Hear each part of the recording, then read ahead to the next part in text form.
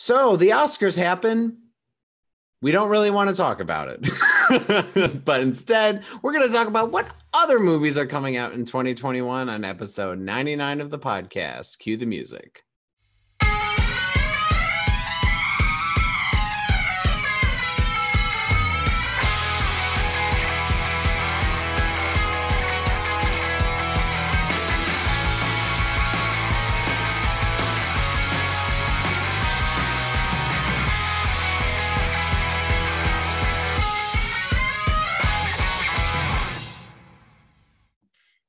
Welcome, everyone, to the Entertainment Buffet podcast. I am one of your hosts, Brandon Prosek. And I'm your other host, Jessica Kwazz.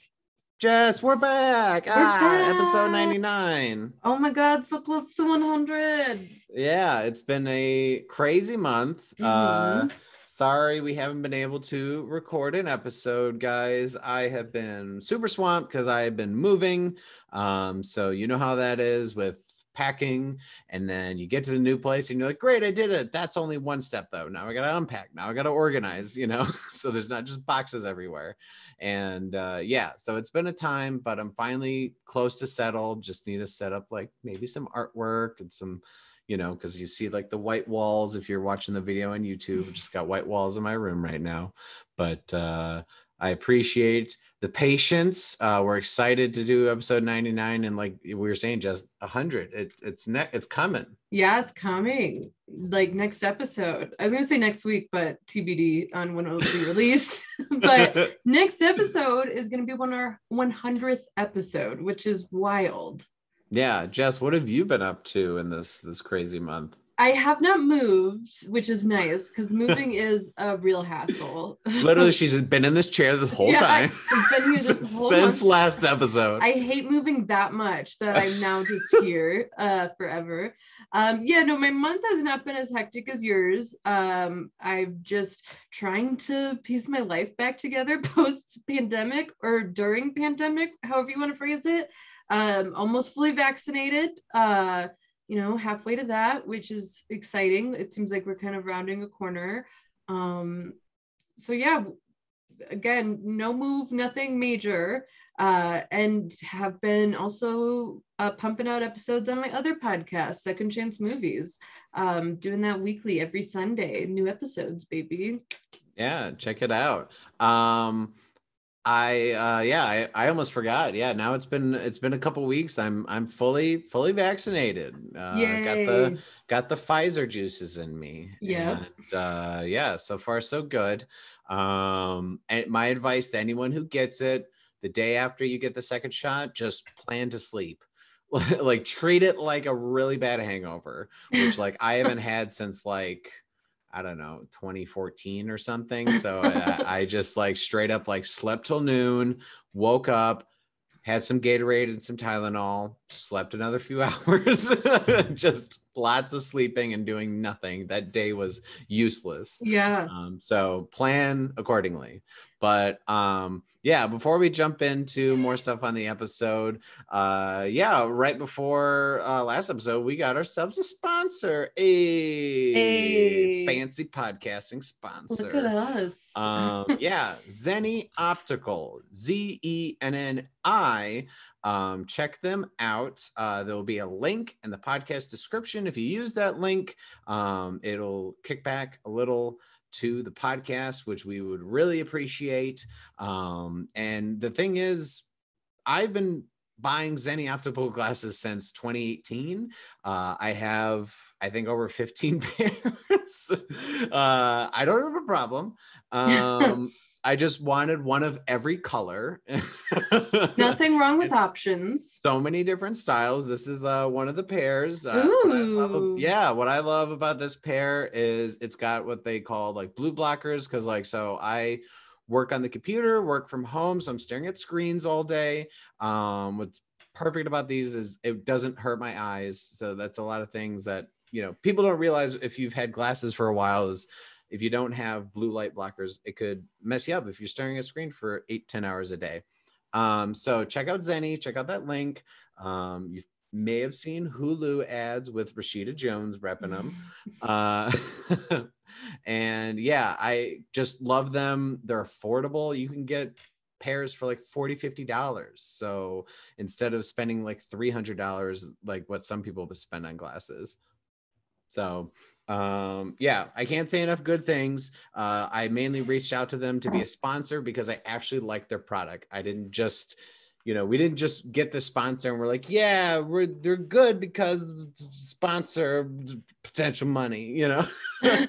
I, I only reached out to Jess and I are only reaching out to brands that we actually like and can talk about genuinely because uh, don't want to lie to you guys um no but, or anyone we don't want to to anyone not just yeah. our podcast audience yeah so check out Zenni. um any purchases you make with that link, or we could send you other discounts. Reach out to us on social media. I'll send out some other discount codes. We fancy.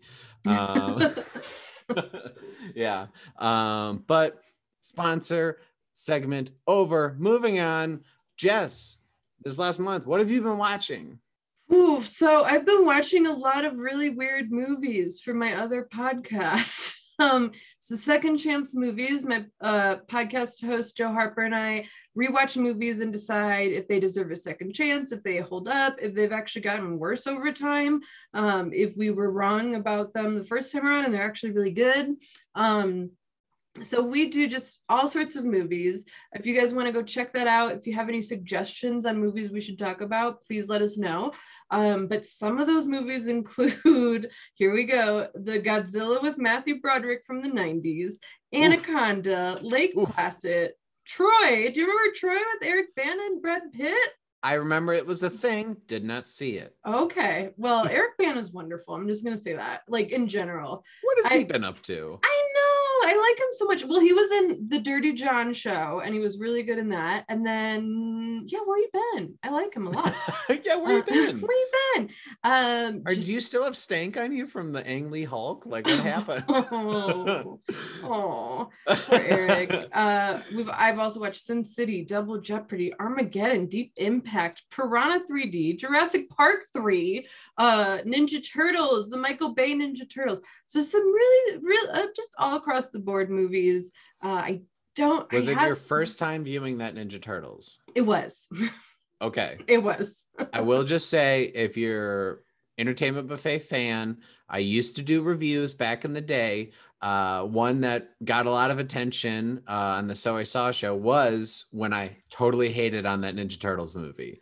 Oh, um, oh, okay. and had one of my first like angry commenters when someone, uh, I think it was yeah, it was either a YouTube comment and or a tweet uh, where they said uh, you could take this review and shove it up your fat ass. Wow. Because um, they were so like you, you know, defendant of that movie. And I'm like, watch it again. Yeah, and, let me tell uh, you, I just did. It's not worth fighting someone on the internet for. It's right really not good. right. And so yeah, check wow. out uh uh, if if you are interested, I will say the second one of those movies is better. I've heard that. I haven't want, we haven't done that one yet. Uh, maybe we will, but um, yeah, I, I heard. I may be interested in joining you for something like that because okay, that was a weird situation where it felt like a studio and or director whoever actually listened to the complaints of the first one mm. uh, bear in mind was not perfect didn't go to like from like d to a or anything but like it, it, it's like everyone was like you know what the first one didn't have enough turtles and too much megan fox and like this this yeah. this and so they're like okay we'll give you more turtles uh they'll okay. be funnier and you, you, know we'll get weirder you, you know and like they it, it's like people complained about five things and they'll and they actually took the notes which is something that hollywood a lot of times refuses to do. So yeah. Um uh yeah, I'd be interested to see your thoughts on that one because uh, probably all you, if you were to write down your complaints, if we were to listen to that episode of your podcast and like all your complaints. I want to see how many they actually listen to for the next one. oh my god, yeah. And I I'm curious to see if my current complaints after watching it just a little bit ago is the same as from yours when it came out in 2014. I'm sure it is because it has yeah, not, I'm sure you, it has not aged well. I'll put my YouTube link from 2014 in the show notes. Oh my goodness, uh, yes. And then you guys can go to my eventually when it comes out and see my list too on the, the Michael Bay Ninja Turtles. It's the most like Michael Bay. It's produced by Michael Bay, but it's like essentially it's a Michael Bay Ninja Turtles. yeah, it's got his weird. fingerprints on it. It's so strange. Um, um, so yeah, I haven't been watching a lot of movies just for the fun of watching movies. Um, the only movie uh, since we last recorded that I watched just for to watch a movie uh, was Nomadland. I saw that since we last talked, and uh, I I just think it's beautiful. I think it's just such a gorgeous film.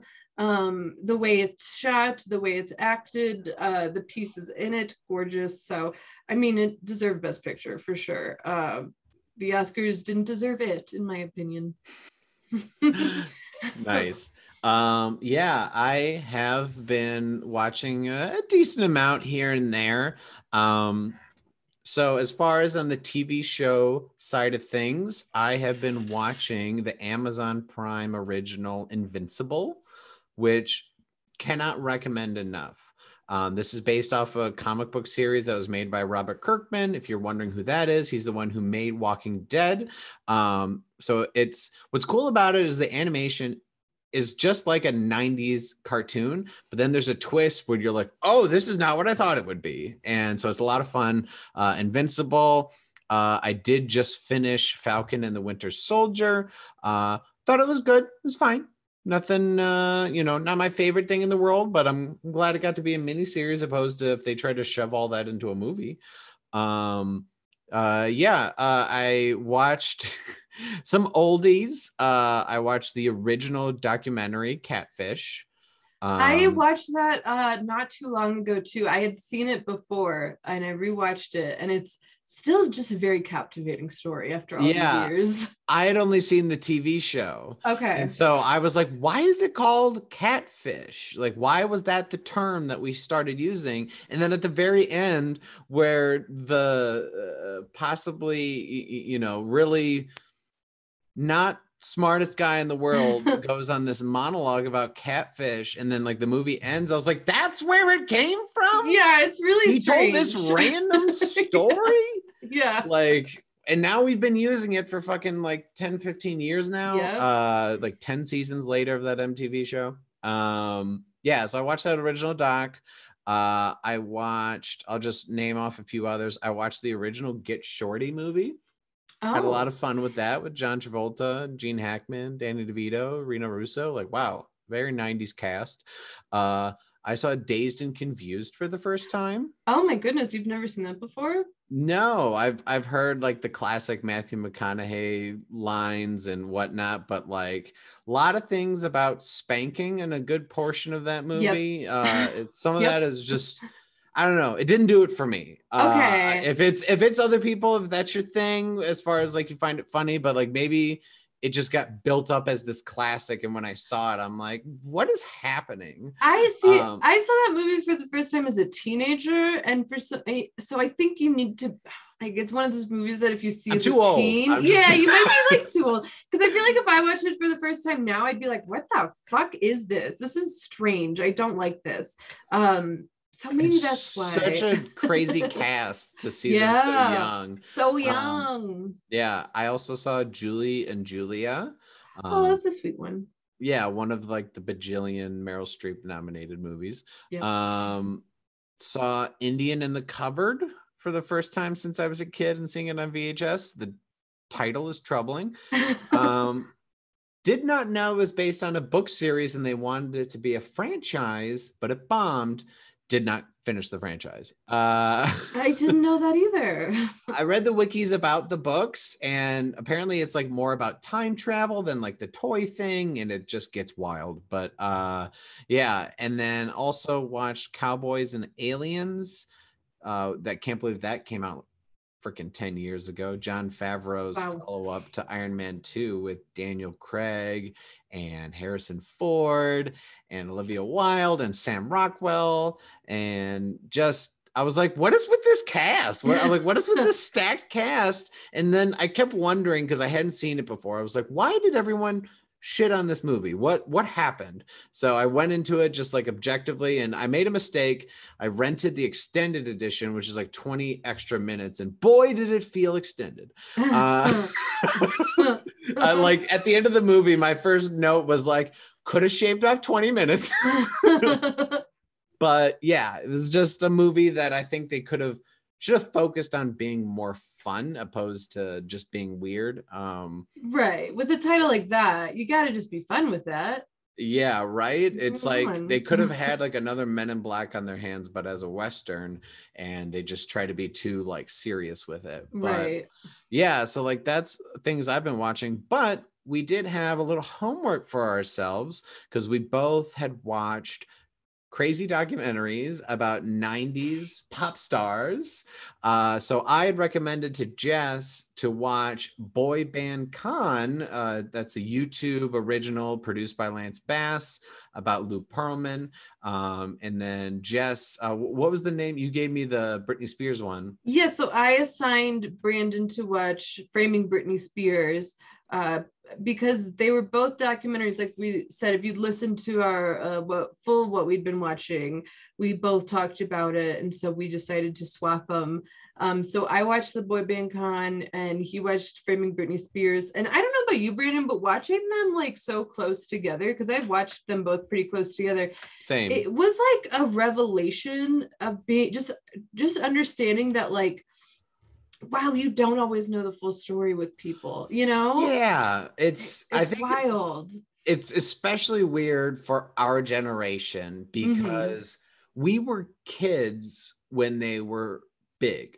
And Yes. so we didn't know and also like this is going to make it sound like we're saying how how like old we are, but like the internet wasn't like readily available to everyone and it Mhm. wasn't until like probably like we were in like middle school high school to where it was like you know not having just the uh the hook up to the wall uh on the Yeah. phone but the whole dial up Mhm. so um we didn't know a lot of these behind the scenes stuff like Mhm. sure we'd probably see on tv like tabloid stuff or like mtv stuff but like i didn't really follow that when i was younger um i just listened to the albums on my boombox with a cd Mhm. oh yeah but the tabloid culture was not giving a story i mean it, i want to say full story but it was like their own story like so Right. it's, it's wild because like you said like we were so young and these people like britney spears and NSYNC and backstreet boys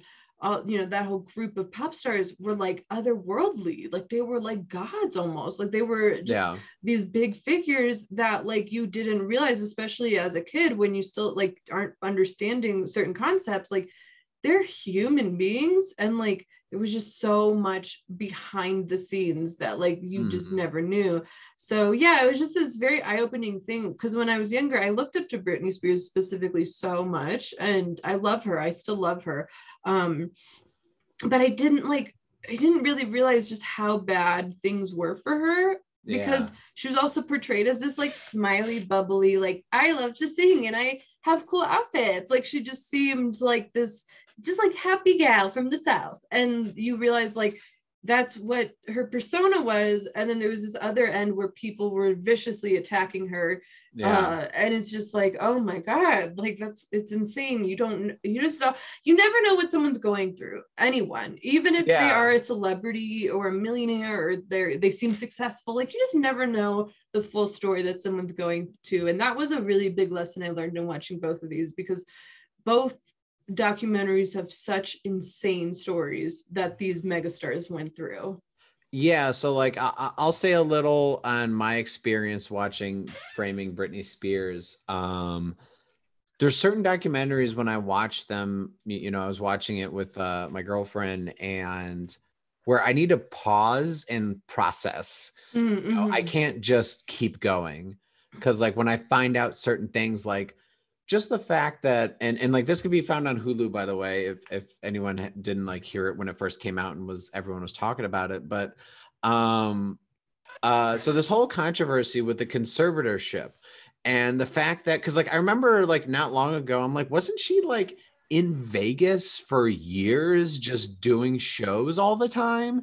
And then like they said like yeah she was doing this much and she was making this much. And it's just like I'm sorry but if a thing that was originally invented for older or like maybe mentally challenged people, people who aren't able to like actually handle their finances or like like some of the experts kind of said in the documentary like a conservatorship is usually set up for like um and like i had to watch out for this. I used to be in banking. Like when you're worried that an old person could be like fooled out of their money because like people would come in and they'd have like a story of like a phishing story of like oh i uh, got this email that so and so needs this money and i need to wire them money because they're in jail in africa you know or whatever and it's like ma'am like the, that's this is all fake. Uh, do you know anyone in africa? No? Like that's what it's set up for and the fact that someone who is touring and doing a show in vegas on a regular basis not like a oh once a year pop in surprise show like a consistent where thing where millions of dollars are happening. And also just the fact that the conservatorship is with a man who doesn't seem like he should be in charge of it. And it's it's one thing if like oh it's weird that the conservatorship exists for her at all but of all people to have it it's this guy who seems very like like didn't he like start some businesses that fell through? Yeah he's not like he's does it's not like he has this history of being a good smart uh, financial success like the exact right? opposite.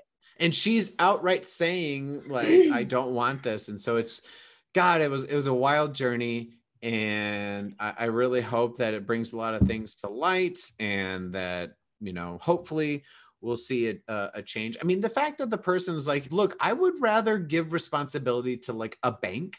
Yeah. You know? Strangers than my own father. Like, that's yeah. your child, dude. Come on. And that's, and that's one thing too about the conservatorship. It's not that she's saying, I don't want one in general. She was like specifically asking, can it not be him? Yeah. I think that like the judge would be like, yeah, let's find someone else. Like that's, you know uh you're someone who clearly can handle things but and it's also she's a mother and mm-hmm.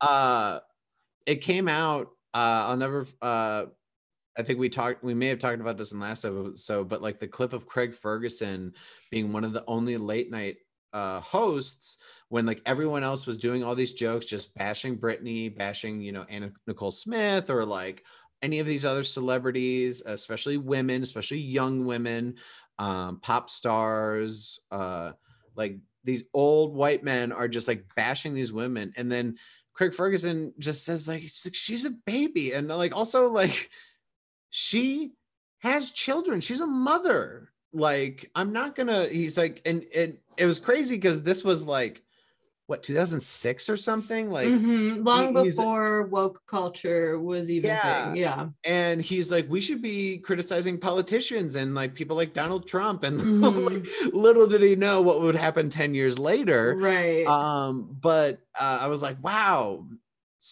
lots of respect for craig ferguson um if i were to watch a late night show now i want to like go back and watch episodes of his because as someone who's been a comedian uh I, I just don't know if I would be able to lead a show where writers come up with jokes to bash women like that. And I'd be like, yeah, I'll say that. Mm-hmm. Like, no, that's wrong. Like, right. Well, the thing is, though, back then, like, it was fine. Like, that was the norm. And that's what I think the biggest takeaway for me from that documentary is, you know, there's the, to me, there's two sides. There's the whole thing with the conservatorship, and then there's the whole like what she went through and the way she was vilified for just existing. It's mm-hmm. insane. Um, and in, I think we've come a long way in how we talk about young women and how we talk about mental illness. I think we still have a long way to go.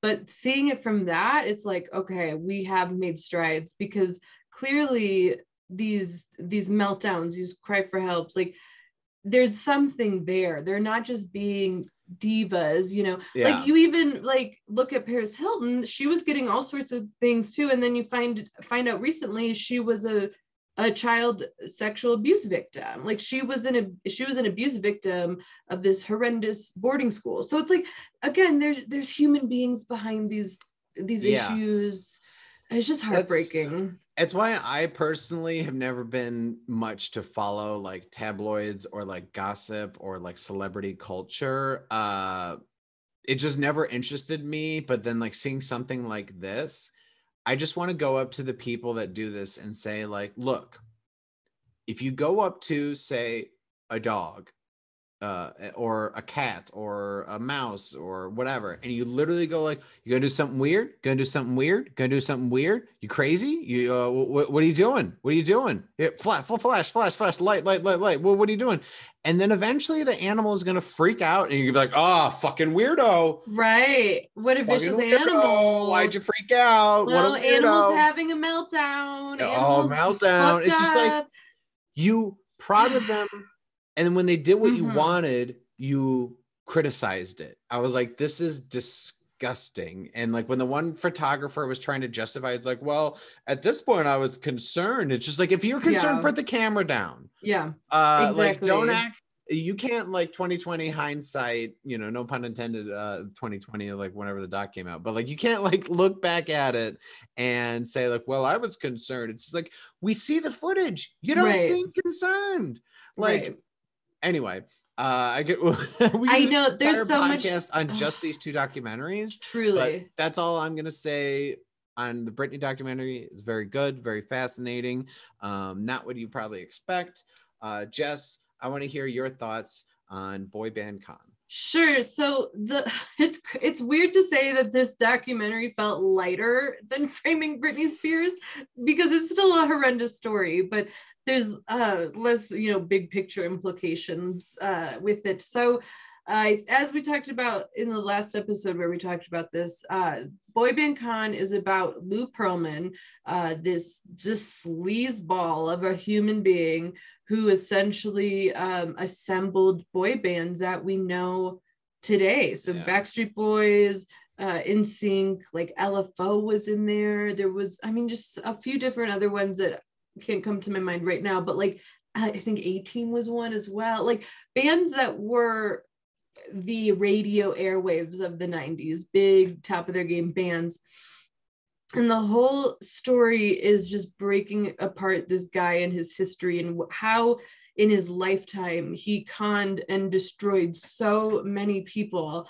Uh, he was running scams that basically funded the Backstreet Boys and NSYNC, and then meanwhile was running scams on them essentially and Yeah. manipulating these literal children because they Yeah. were children. They were like high schoolers. They were high school children. I think the oldest one was maybe like 19 20 like yeah. young young young children and was was taking money from them too. And it's just crazy the lengths this one person went through to just try to be at what he would consider the top it's it's insane and i i gotta say like i love a con i love i love con documentaries uh, I just watched the WeWork Con documentary. I mean, I could watch con documentaries for hours. I find cons fascinating.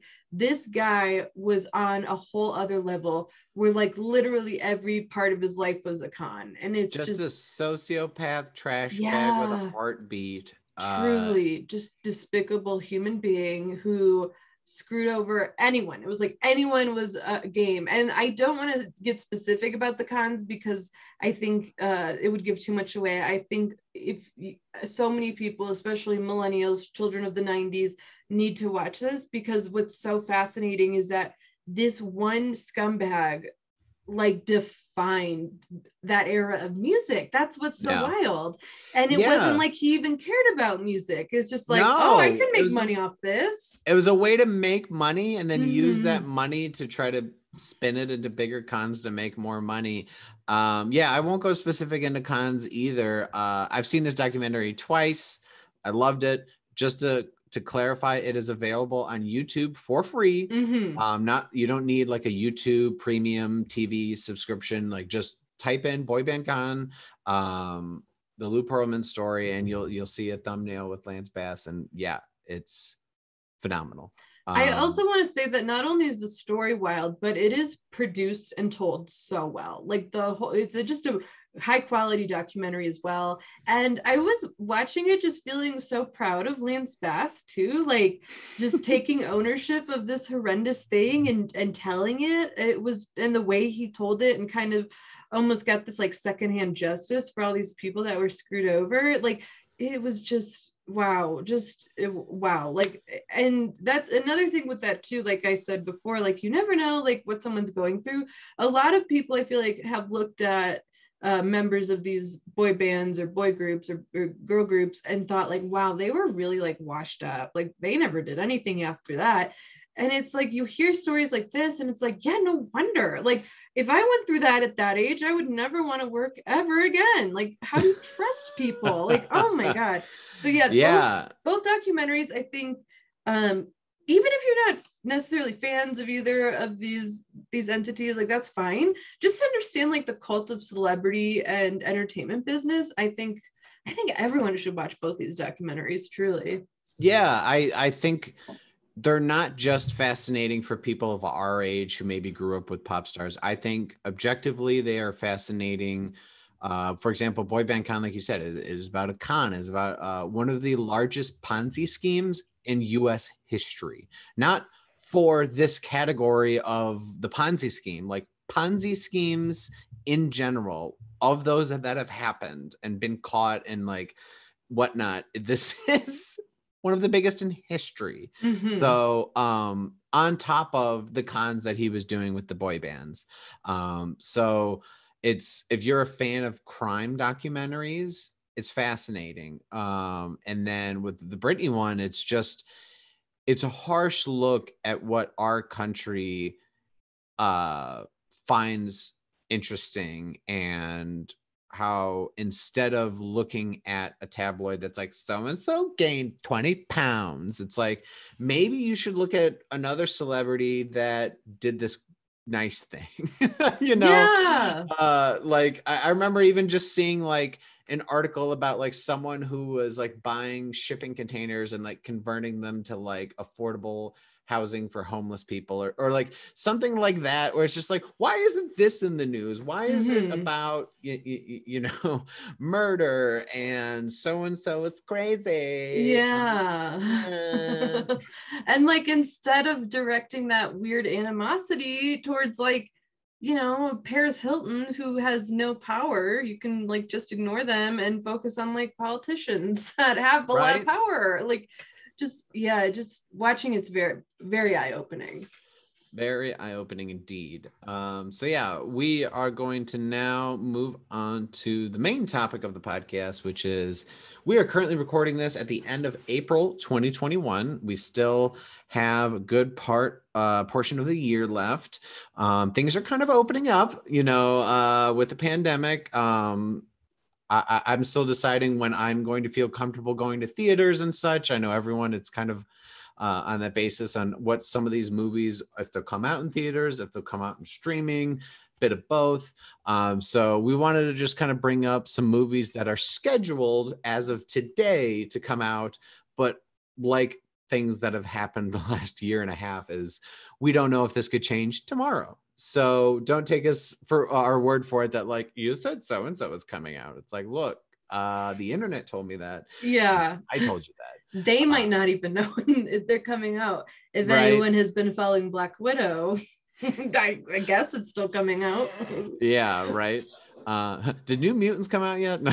it did I know, but like that was a movie that I we're just like, what happened to it? I know, and you can't even blame that one on the pandemic. That was like coming out for just five years. shenanigans. oh my Um, goodness. Yeah, so Jess, kick us off. What a uh, what's a movie or some movies that you're looking forward to that are coming out or scheduled to come out in 2021? Yeah, so we'll see if these movies come out when they say they're going to. And like Brandon said, like I personally am not ready to go to, into a movie theater, but hey, if if these are available to watch at home, definitely will. May even spend some money on some of these. We'll see.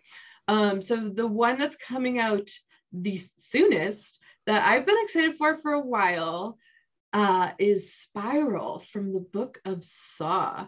Um, Oh. yes. So this comes out May 14th. So if all goes according to plan, just a couple weeks. Um, this is uh, you guys might remember it from like pre-pandemic because there was some talk about it then. It was supposed to come out in 2020, uh, like probably all these movies were. um, so, but this one is fascinates me because it is uh interesting. It's it's sort of like a reboot of saw from what i understand. The details of how it fully relates to saw is still a little under wraps so we probably won't know that till the movie comes out. Uh, but essentially it is a retelling of sorts of saw. Um, the synopsis is a criminal mastermind unleashes a twisted form of justice in spiral the terrifying new chapter from the book of saw. So i don't know what the book of saw is. That's not a thing. I have seen every single saw movie um, and there was never a book of saw. But what makes this interesting is if you watch the trailer the vibe looks so different from like the last six saw movies um it looks way more grounded in reality it follows uh it doesn't co- look like torture porn. Is that? it does not look like torture porn um because I I- admit I've not seen a single Saw movie. you haven't even seen the first one No, I, I like Oh. that's the only one maybe, but I just yeah I don't know. I'm that's uh, no the first one is not like a there's gore but it's not like torture porny. And it's it was incredibly indie too. Uh the budget was extremely low which is what something i always find fascinating about saw in general is that the first movie it was like made for nothing. Yeah. um and then it just became this snowball of like a shit ton of money into a franchise. So i would say you know if you're not like super into horror the first one is definitely worth watching. It's it's still really good. Um this version this spiral uh seems like it's going to be more in line with the first saw movie uh because at some point saw just goes out of control. Uh the first three are honestly really great and then after that it's just like why why did I watch four more of these? I don't know. I don't know, but I did. Here we are. Um, what's interesting about Spiral is that, like I said, feels more grounded in reality and follows a cop uh, as he seems to be discovering sorts of twisted stuff. And uh, what is this? Where does this all go? What does this mean? I don't know. Not much is super known about the specific plot for this movie. It stars Chris Rock in a serious role. It was also produced by him too, which I find really fascinating. Was he was the one that sort of got this particular movie going. Huh. Um, so I'm very curious. He must have also seen all of the Saw movies. um, and it also stars Samuel Jackson, which I'm like, hell yeah, let's get okay, I'm here. Um, and yeah, I was looking forward to this. another franchise year. for me to be in, motherfucker. Like, Yeah, good for him. Like, all right, I'll take a horror franchise with him in it. Why not? Like, hell yeah. Um, so I'm excited. motherfucking saws. know? I'm excited. I don't know what to fully expect with this movie. I do worry that a lot of people are gonna forget about it and it's gonna go super under the radar and then they'll never try to do something like this again. Because I think like putting the ideas from Saw into a more grounded form of a movie could be really cool. So we'll see what happens with that. I hope people don't forget because I think it could be really awesome. So I'm I'm gonna see it. I'll probably spend money on it because like I'm that excited for it. And the director Darren Lynn Bousman did direct the second and third Saw, and he also like for my really obscure horror fans directed Repo the Genetic Opera, which is a dope movie. Um, so yeah, I'm excited. I think it could be really cool. Well, from what I'm seeing about the movie, and I've yet to see the trailer yet, but I was interested. Um, is good thing uh is budget was only 20 million so they that's a relatively cheap budget for hollywood so if it it, it really just has to do decently Mhm. and then if it's good then they'll probably do another one so yeah. um it seems like they're going more the blumhouse route which is to give a movie still good actors and everything and a good story but like a low budget so if it doesn't do well it's like well it wasn't a big gamble yeah. um Nice. Uh, so I something that's coming out only a couple weeks later that I almost forgot was coming out because you know we've been busy with uh, pandemic. Um, is A Quiet Place Part Two. Oh yeah, I've completely forgotten about. oh yeah. uh, this is scheduled to come out uh, end of May, uh, end of May, and it's uh, written and directed by John Krasinski again, uh, who wrote and directed the first one. Um, uh, Emily Blunt is back, obviously, but it looks like it also has uh, Cillian Murphy. Um, it also has that actor Noah Jupe, I believe is how it's pronounced, who he was one of the Shia LaBeouf characters in uh, Honey Boy. Um, oh, okay. Great actor. Um, yeah, so I'm really interested. Uh, I, I haven't really seen much about this, but I really enjoyed A Quiet Place because it was kind of like horror, but also not like gore porny and more uh, like thriller, intense. Um, so I'm curious where it goes because I, I, I don't know. I I think I heard or saw that it's supposed to show kind of like how this all started with the beasts, but then also be a sequel. So yeah, I'm curious where the story goes because if you've seen the first one, um, there's a death that's unexpected at the end that's just like, oh, and then you're gonna do another one. But like the same writer director came back, so clearly uh, he had a story he wanted to still tell. Um yeah uh, did you see the first a quiet place? I did yeah and i really liked it. And i remember when the trailer for this one came out uh it looked like they expanded upon that world for this sequel so i think that that could be really cool. Um yeah for me a part of it is like like I, I love horror and i liked the first one a lot but i also just feel like there's so many movies that are coming out now where it's like eh, I lost interest. I you waited way too long. You should have just released it while we were at home because no, I don't care. And for me, that's kind of on there. I'm kind of like, eh, you, you, you should have released it around Halloween when we are all sitting at home. Like, mm, whatever. okay, that's uh, yeah. Uh, I don't know.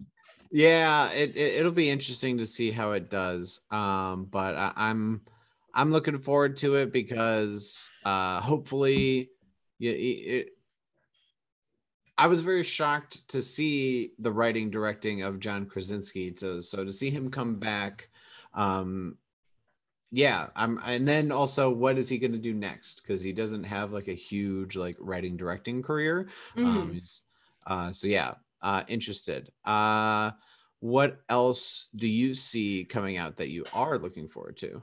So my next one is also a horror movie, um, and that is The Conjuring Three: The Devil Made Me Do It. Uh, that's the subtitle. The Devil Made Me Do It. You gotta um, have a um, subtitle. the, I got one, guys. The Devil Made Me Do Everyone's it. Everyone's just gonna call it Conjuring Three, but you got The Devil Made Me Do It. The Devil Made Me Do It. Um, I want to ask for mm-hmm. some of these subtitle uh, things is who is seeing that it's Conjuring 3 and be like, you know what, I don't know if I want to see it. yeah. That will make me do it. I'm in. now I'm interested. That's intriguing. Mm, what could yeah. that mean?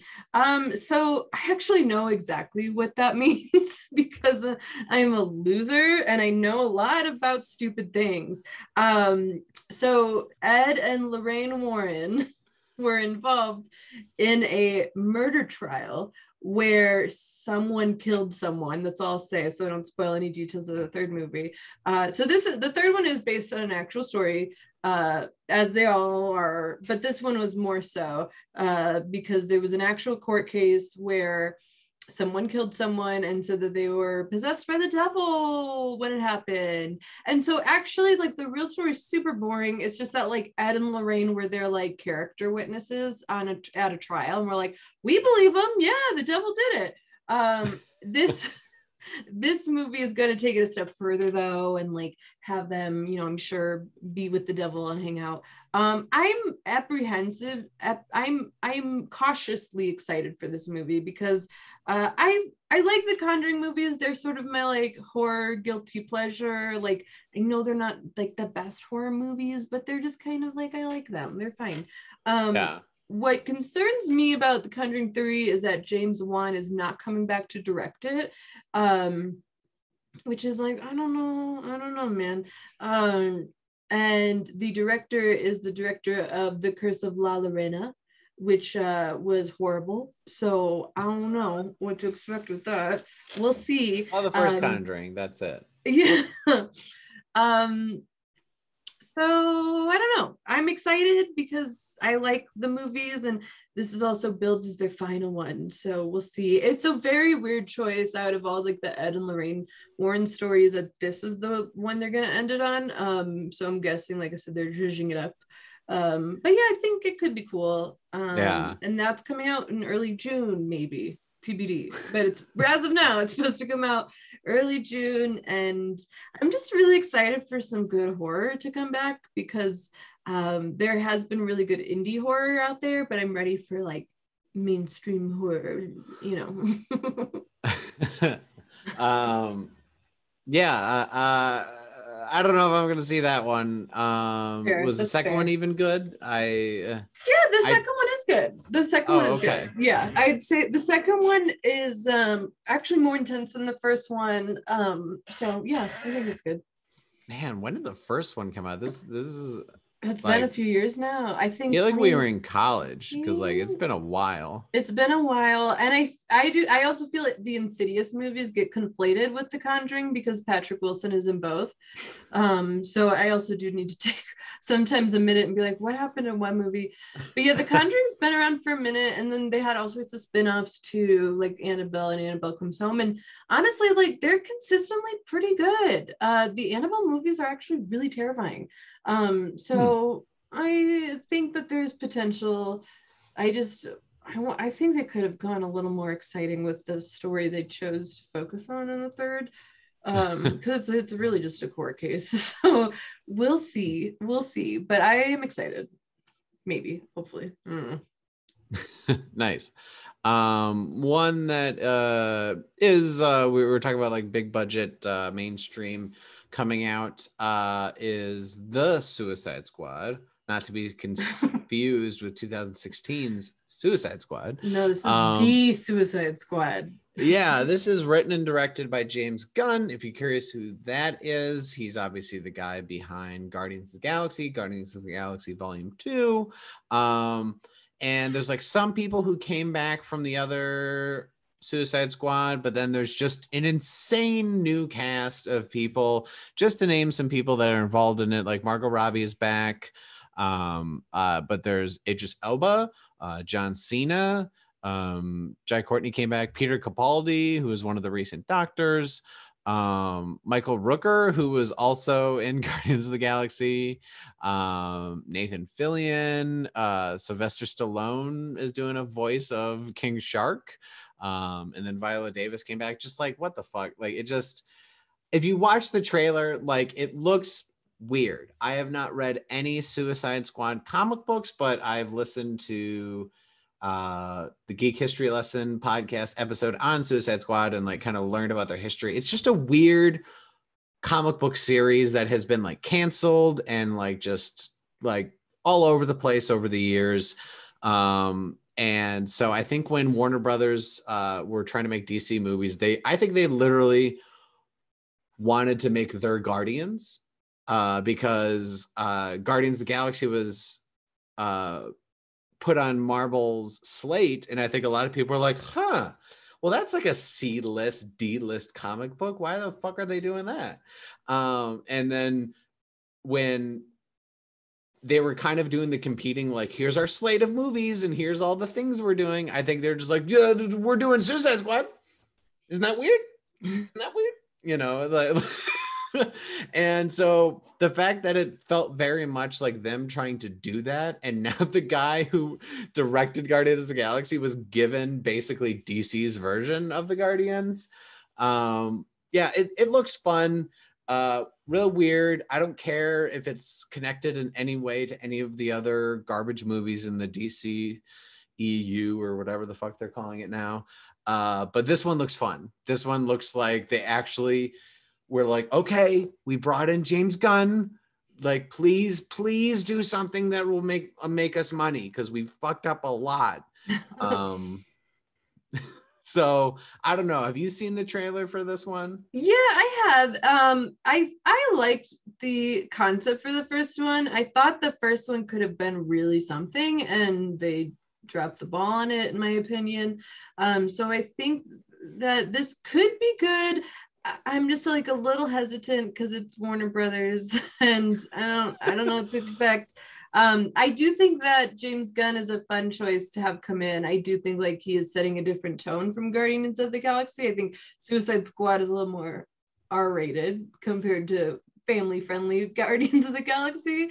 Yeah. Um, so I think it could be really fun and interesting. And I I like Margot Robbie as Harley Quinn. I liked Birds of Prey. I think people were way too harsh on it. Um, so you know, at the very least, I'm excited to see her back as Harley Quinn again. Yeah, definitely. Um, one thing that uh it's been interesting because uh we won't go too much into this because like before we started recording we had like a 30 minute discussion on warner brothers and dceu movies.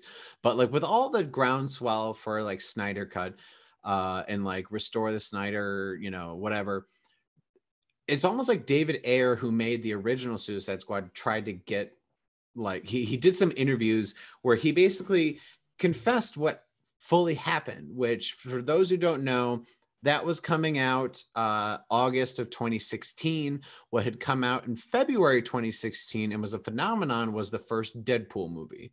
And so literally what warner brothers saw is like well they made a rated r movie about a like a dark weird character and it, because they made it funny that's that's why people saw it and it made money. So can we do more like that? Like they literally pointed to deadpool and said can we do more of that? And he's like yeah but i've already shot and made like this. And like the best way i could explain it it's like it's like he made like this chicken dish you, you know with like veggies and you know a certain sauce.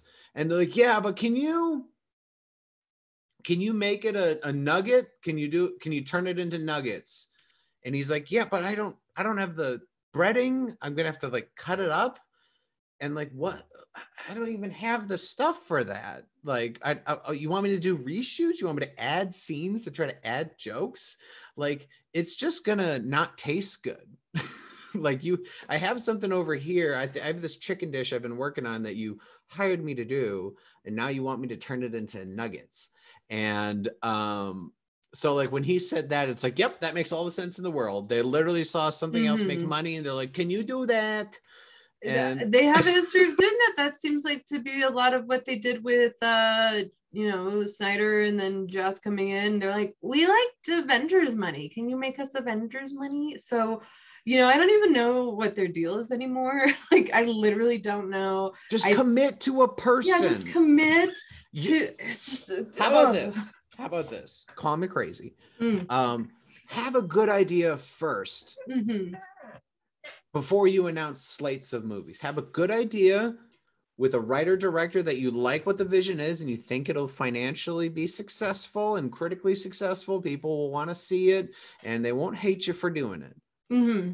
Then start making the movie and continue doing that and finish the movie, then release it. How about that? Call me crazy, yeah. but it may or may not have worked for other people, uh, opposed to being like, yeah, yeah, yeah, yeah. Can you make one of those? Uh, yeah, yeah, I'll start. All right. Uh, yeah, I know you're almost done, but can you change it? I mean, straight up, like I think too, like just have faith in your own characters. Like they just are at this point, it's like soulless carbon copying of other movies. Uh, that it's like, come on, guys, like your characters are beloved. There's history there. If you make good quality, um, your the built-in fan base will come and then tell other people to go see it too. That's that's how Marvel worked. That's how Wonder Woman was successful. That's how Birds of Prey was successful. It's like, come on, like ugh. so I don't know. I mean, I do also part of me wonders too with this new Suicide Squad if they're kind of like, all right, well, the first one didn't work out, but like now we're coming in like ready to copy Deadpool. So like let's just do it from the beginning. now we did it from the beginning. Uh, yeah. And we got the guy better. from Guardians. Yeah. our oh. Guardians. Uh, so I don't know. I just don't know. Cause like I the trailer looks cool. I like James Gunn. Um, I think he's really fun. And but it's also like if warner brothers just like let him do his thing it could be good but if Yeah. they've been following their track record of like oh, we want money so can we make that movie instead like i don't know i don't know Yeah, I there hasn't been like talks of like reshoots or like changes. So like hopefully, like you said, hopefully they like followed through. But like I just want to go up to these executives and say, like, all right, let's look at Guardians, let's look at Deadpool. Why did these work?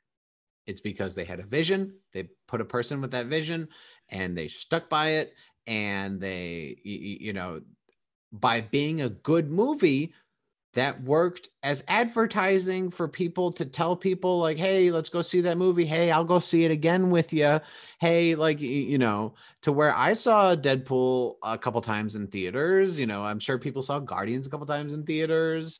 And like that's your advertising is good press not Yeah. just like hey we did this thing what do you think it's like Yeah. well no one liked it so therefore they didn't tell their friends to see it so no one saw it and that's why your numbers just do this right you know and like one last thing i'll say about that is superhero movies in general have been sort of clumped in this idea of like spectacle movies that they're not really movies they're like spectacles and i think if Yeah. anything like DC and Warner Brothers track record has shown that's not the case because they try to just put on a spectacle and it doesn't work because people want to enjoy it and they don't. It's like if it's a good quality movie and there's also really cool visuals, then more people are like, I really liked that. Let's see that again. You should go see this. You'll love this.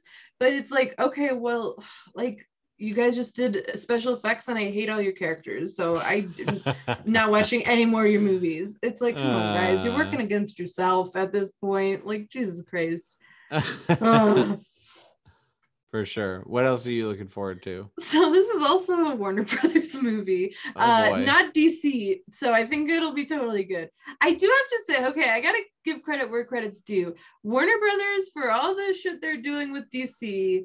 They have really figured out how to distribute movies in COVID times. And I got to give them credit for that. Their business model of releasing movies uh, for a certain amount of time on HBO now, or H, I'm sorry, a certain amount of time on HBO Max, and then also uh, consecutively having it in theaters is genius. And then taking it away after like I think two weeks off of HBO Max, and then still being in theaters, or you could pay to rent it later. So smart, like so smart the way they figured it out because there's so many movies of theirs that I'm gonna watch because I have HBO Max. Like hell yeah. um, And one of those is In the Heights. I've been so excited for this movie for a very long time. It's one of the ones that when they postponed it, I was extremely bummed because it looks incredible. So, In the Heights, for those of you who might not know, is a musical that was written by Lin Manuel Miranda, who also wrote Hamilton. I think In the Heights is better than Hamilton um, in terms of like the songs and the stories and the feel good. Uh, and I love Hamilton. I think Hamilton's genius. so wait it um, was a musical that already came out It was a Broadway musical. Uh, that oh was okay so so, this it's not just a movie musical like it was a musical that they're making a movie correct. So and this was this was his first musical. So this was before Hamilton. Um, and Ah. so it's really it's just a really well done story and beautiful song and just vibrant characters. And i so i'm really excited for it to come to the screen. Directed by john m. Chu who did crazy rich asians. And what's really cool about him is if you saw crazy rich asians you saw like this this the big scope that he can do. And for a movie like this it needs a big scope. Uh the trailer looks so so good. Like the trailers look amazing. Um i'm so excited for this. And uh anthony ramos who was also in hamilton he's the lead and he's really really great. Uh we also have lin manuel miranda in a very small role um, and Jimmy Smits is in it as well, and just like a lot of uh, lesser known musical actors in it. Uh, Corey Hawkins, who was in The Walking Dead, uh, he's singing and dancing it in too. Um, I'm just overall very excited. I have been for a while. I think that if you like a feel good story, if you like a big, uh, beautiful musical production, definitely see the trailer check it out um it's it's been a while since we've had like a really good big scope musical movie and I think that I'm I'm excited for this because I like just I like the vibe. So I'm very pumped for In the Heights and that is set to come out on June 18th. Fingers crossed because it was supposed to come out June of 2020 and I've already waited a year so like just put it on Uh. HBO Max so I can watch it, please. so I'm excited. It looks gorgeous. Yeah, I remember. I think I saw either like a teaser trailer or something for that. Um, and it, it'll be interesting because like I feel like the musical movie genre is something that we get like maybe one a year. You know, like so it's it's always like it feels like a toss up whether it actually be like good or it'll be like cats. you know, Right.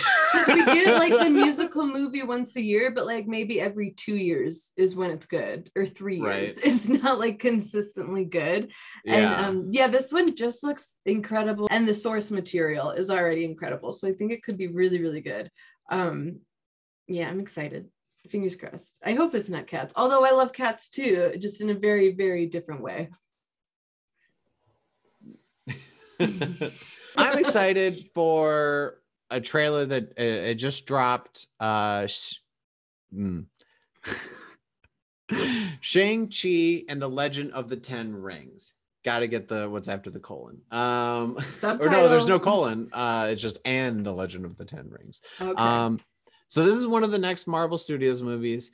Um, the reason I'm excited for this one, um, I, there's like a few different ones that are still scheduled to come out. Um, but like the reason is I know nothing about this comic book character. Just like when I was going into Guardians, um, this uh, is you know an Asian cast. Uh, it's uh as you can tell from the trailer it's like very just like fight based and hopefully not just like big cgi ex- explosions uh but just more of like it looks like hopefully like a bruce lee you know jackie chan like karate movie meets like marvel. Um so like i don't know that trailer just uh excited me because I'm like, finally, like something different because it feels like it's been a little bit since we had a Marvel movie.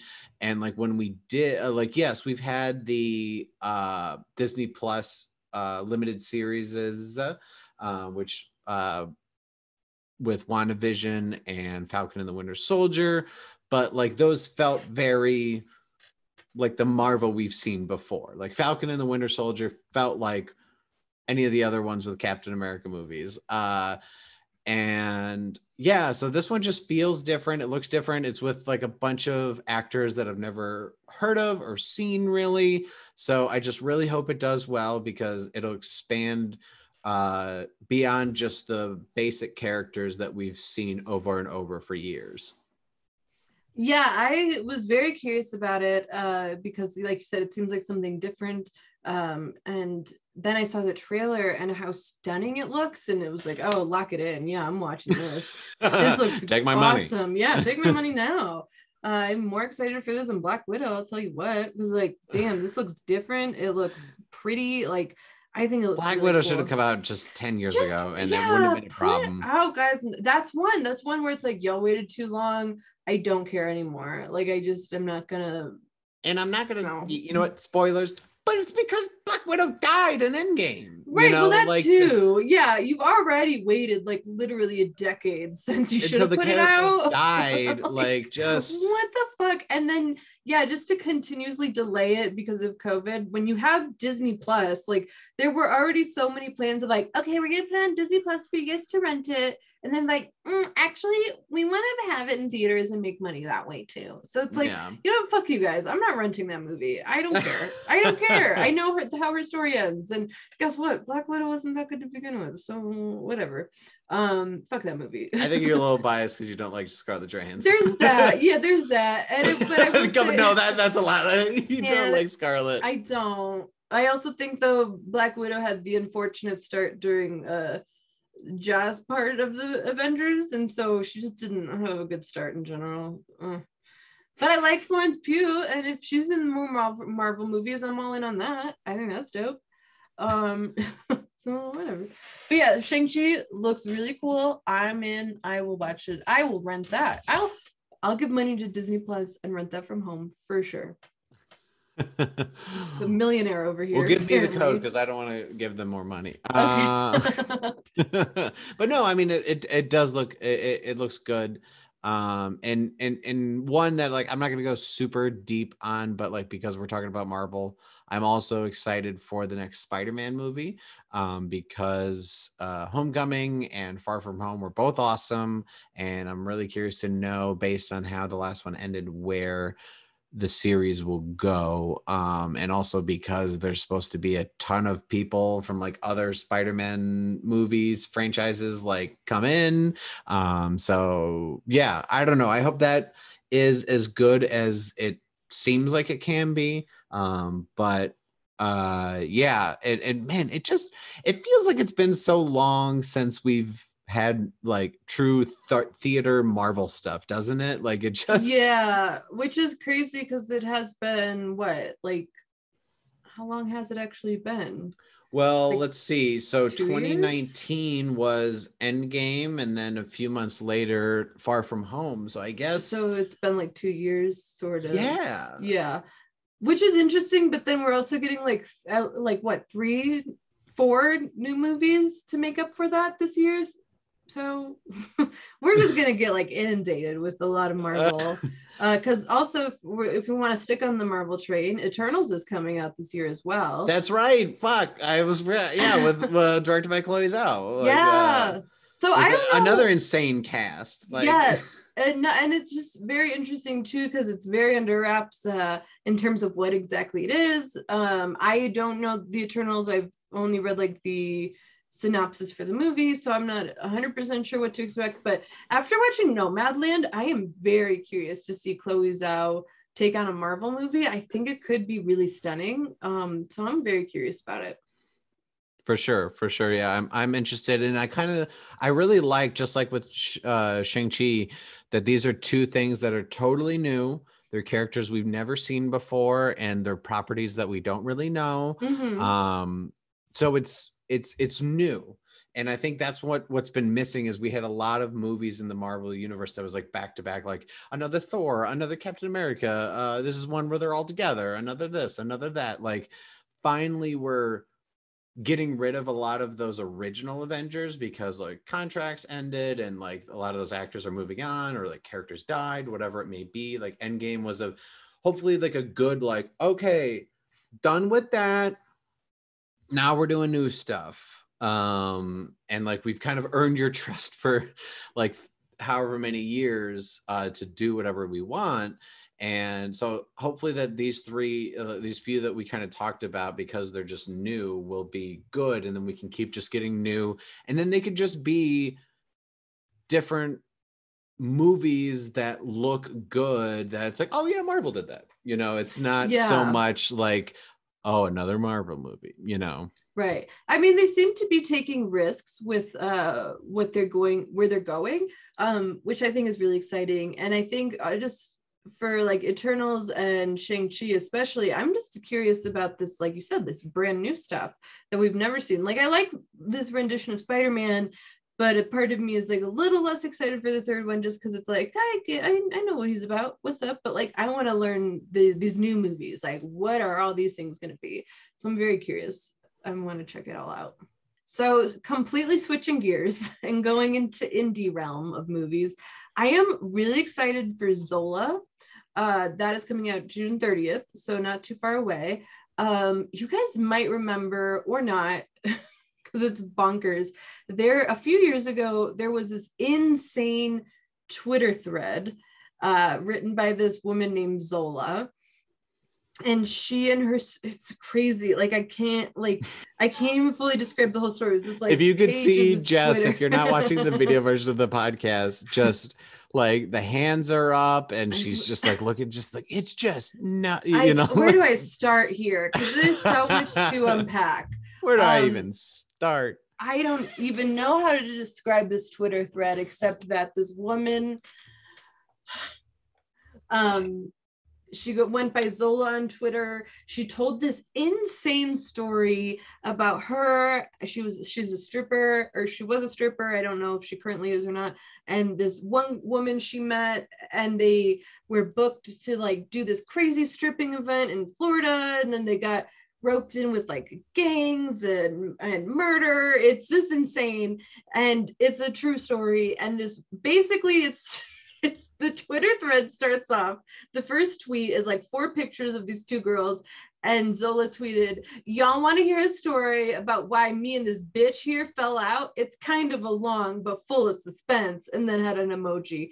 And it was, it was like, I remember reading it in real time, being like, what the fuck? This is crazy.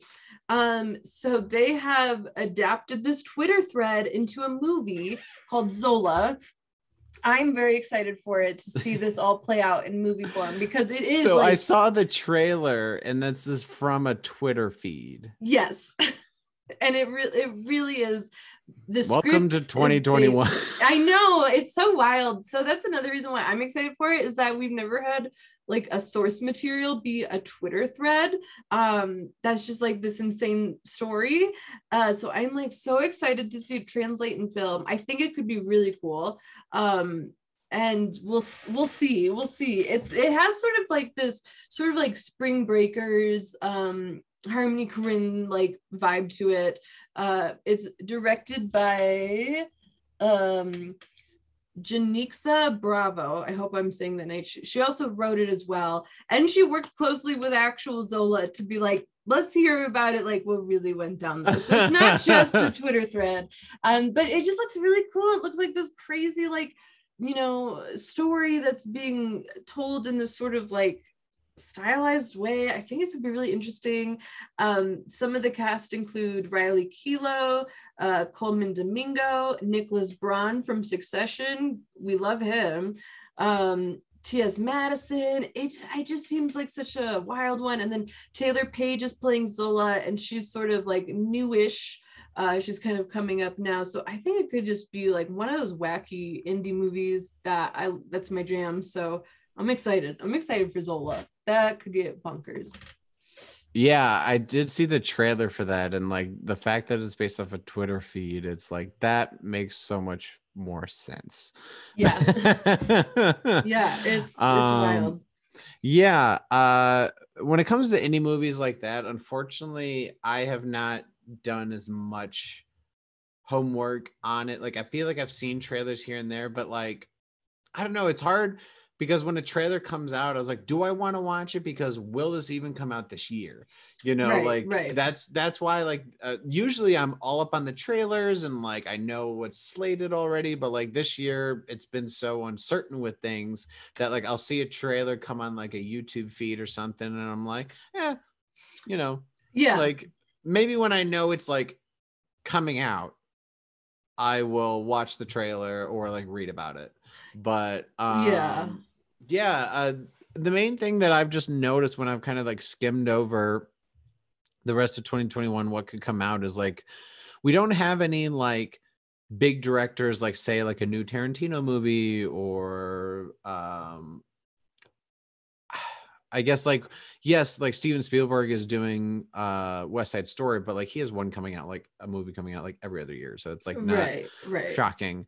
Um so like that's one thing I will say is like usually I'm all up on like like what Jess did is like advertising for new indie movies that people should go see that are hopefully original and low budget and could really use uh more people to see them but it's like i just don't know what's coming out because like i haven't been in a theater since like january of 2020 so who knows?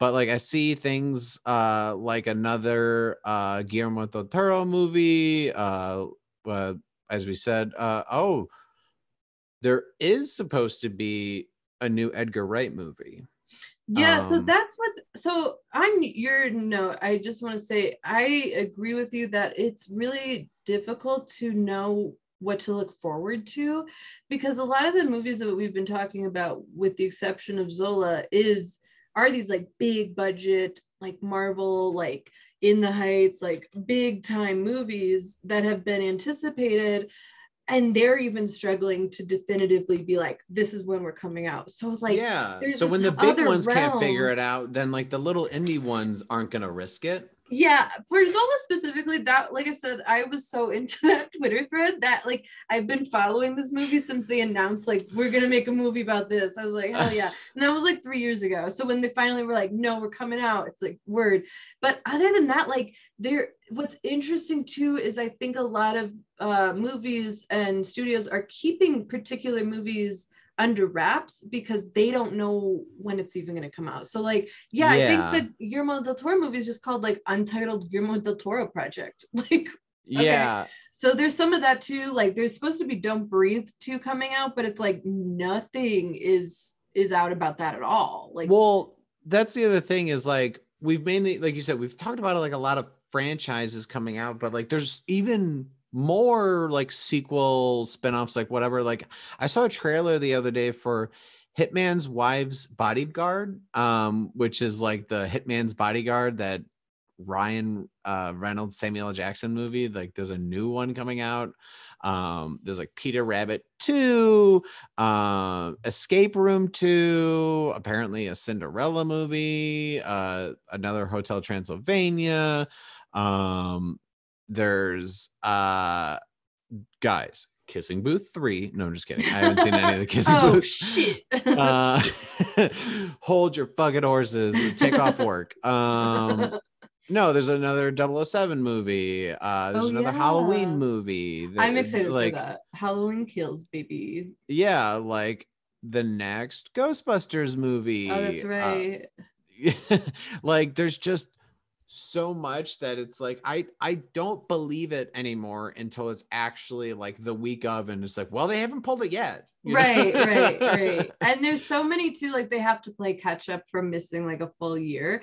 So we're just gonna get inundated with a bunch of movies and it's gonna be like uh yeah i guess i'm excited for that. Like sure i guess. Um yeah. but yeah it's like it's hard to get excited for like a typical year we will because we it's still so like fickle. We're not totally sure um but we know they're coming out sort of soon you know it's just hopefully we'll see like i don't know yeah. um, so it is hard to have like a typical sort of like, here's what's to come kind of idea because like we, we don't know. Maybe.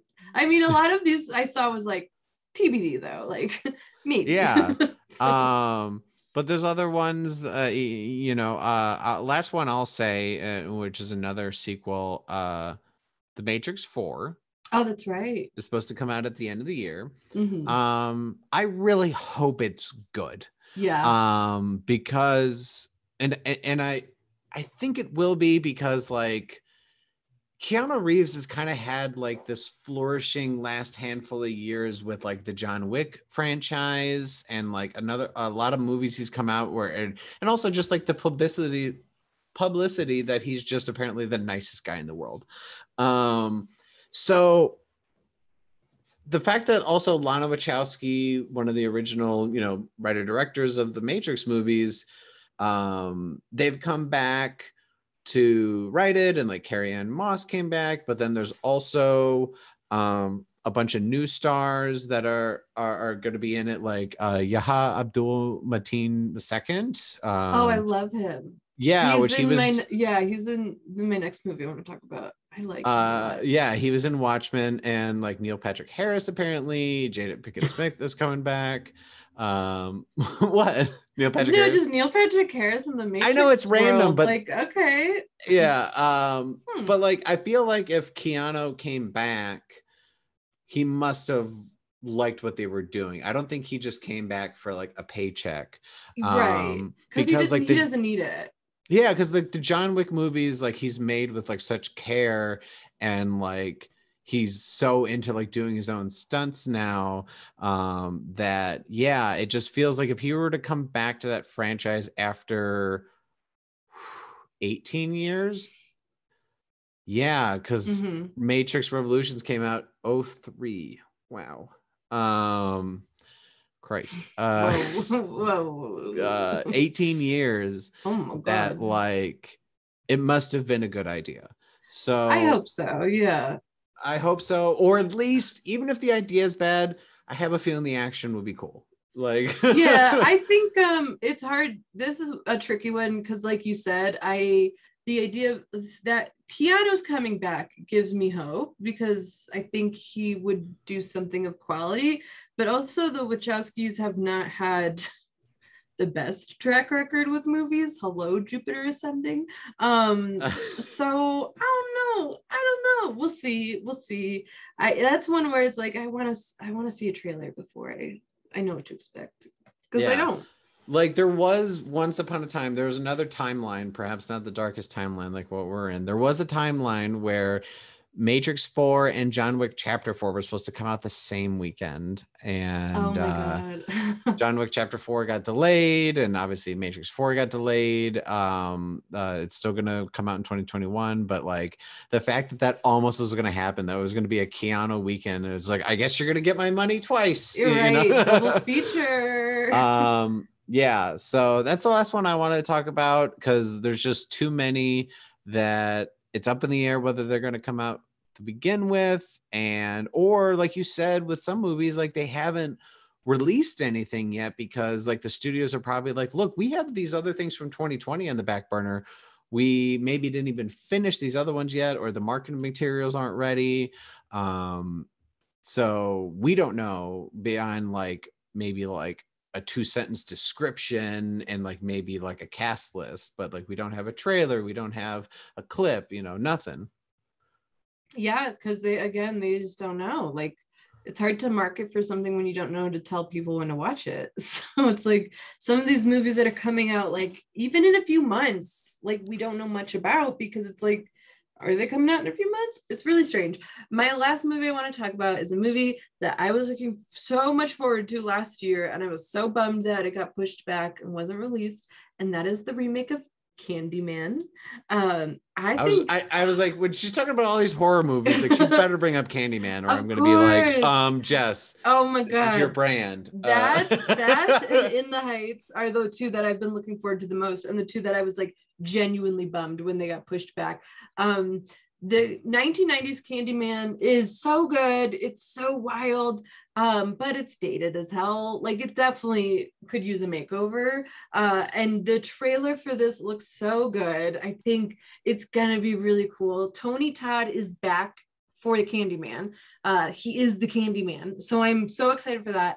And then, as we just mentioned, uh, Yahya Abdul Mateen II uh, is the lead, and he is wonderful. He was, like we said, in Watchmen, he was just in Trials of the Chicago Seven. He is like on the come up, and I believe too he's going to be an Aquaman too. So like he's on his way for his career to blow up, and I'm so excited because I think this man is wonderful. Um, and I think he's just going to be so good in a horror. So I'm excited for that. I'm excited for this new spin on such a good story. Um, I think it's going to be so cool. I, it's supposed to come out August 27th. I hope it stays and comes out soon because I really, really want to see it. Um, so yeah, we're also we're supposed to get some really good horror this year, um, and I hope we do because it's been lacking in the horror Yeah. department. Obviously, Uh, I haven't seen any of the previous Candyman movies. Uh, two things I'll say is it's cool because there's actually a Chicago comedian who plays uh, clearly like a character that gets, I think, probably killed at the beginning of the movie because like they showed in the trailer. Um, uh, so the fact that like it was someone I know who is much older, but they look younger, so they played a high schooler. And I remember being at shows and them being like, the like, I I can't believe it, I got to be in this movie, you, you know. And then like that feels like for fucking ever ago, and it's like, yeah, I can finally see it. And um, yeah, I'm I'm interested because everyone has said how like Candyman is like a good like horror franchise uh that like sure like you said is a little dated but like now it's obviously going to be updated um what I am sad about is that we almost had a Candyman Leprechaun crossover uh, Oh but I think God. it's I think it's Tony Todd was just like straight up like fucking no like I think he I think he openly criticized Leprechaun. He's like, "Are you fucking kidding me? Like, I refuse. Like, I will not let that happen." Good for him. Uh, like that definitely helped the legacy of Candyman. I think. Especially when the obvious versus movie is Leprechaun versus Chucky. Like, come on. yeah, Uh, yeah. I think we should still make that. I would totally watch that. oh my goodness. Uh, but yeah, no, I'm excited for Candyman. That that trailer looked freaky and it looked like um one thing that uh, I we've talked about a lot before in the podcast is like Jess is obviously a huge horror fan. I used to say I straight up hate horror, but it's because I was always shown bad horror movies. And once I started showing good ones, and then like the last handful of years where like people have made good movies that happen to be horror, I think too often people are like, I'm making a horror movie. See, jump scares, da da da da. da. It's all obvious. Characters are dumb. Writing is bad. It doesn't matter. It's a horror movie. Like they, there's no heart and soul into it but like movies uh like what jordan peele uh made with uh you know get out and us and even like a quiet place you know it's like people making these movies with more care and coming up with a good story or an original idea and actually putting thought into it and actually trying uh, to make a good movie that happens to be horror. They're not just being like see it's a it's a horror movie Right. And I think Candyman back in the day was that and was this horror movie with a deeper meaning. Um, but because it's dated, uh, it kind of got lost in the mix of that. And so I think bringing it to nowadays is going to be really good. I'm so excited for it. Um, so yeah, I hope it comes out in August because I've been waiting a while. Like I've really been waiting. Um, Definitely. So, what are some movies that you guys are excited for that are supposed to come out in 2021? What are ones that we didn't talk about? Um, maybe tell us about some ones that you did see that have come out so far. Um, yeah, I I'm hoping that this summer or the fall, like I'll feel uh, you, you know comfortable enough to go back to theaters because it's you know been the long uh, the last movie I saw in theaters was I saw Knives Out for the second time. Uh, wow. and like now Yeah. that feels like so long ago. Um, yeah. So, Jess, where can they find you on the social medias? On Twitter and Instagram, I am at JessKwazz, J E S S K W A Z Z, JessKwazz. And you can find me on Second Chance Movies podcast, wherever you're listening to this. If you're watching this on YouTube, you can check us out there as well. Um, I'd love for you guys to go over there and let me know what you think about the discussions we have over there as well. Um, so, yeah, that's where I can be found. yeah, and you can find me uh, at Brandon Prosek on uh, Instagram and Twitter. And please, as always, uh, like all podcasts ask you to do, whatever device or app or system you are listening to this on, subscribe, check out more episodes, share, let friends know about it if you enjoy our chats. Um, we're coming up on 100 episodes. It's crazy. Um, we've been doing this for a while. You know, um, I'll just say before we get to the 100th episode, you know, we're not like some podcasts who, you know, we don't have some that come out every week, but, you know, we always try to have fun and, and bring topics that, whether you're a movie nerd or just someone sitting with like a group of friends, like chatting about movies or TV or pop culture, that like these are conversations that you guys would have. And yeah, I'm, I'm excited to do even more with you. Yes, yeah, 100, 100, almost 100 down and 100 more to go, maybe, probably. Yeah. Why not? For sure. When, when they're doing Candyman 7. Yeah. no. um, or, or reboot of Conjuring at that point. Uh, no. all right, guys. Please check us out on all those places. Thanks for listening, and we'll see you next time for episode 100.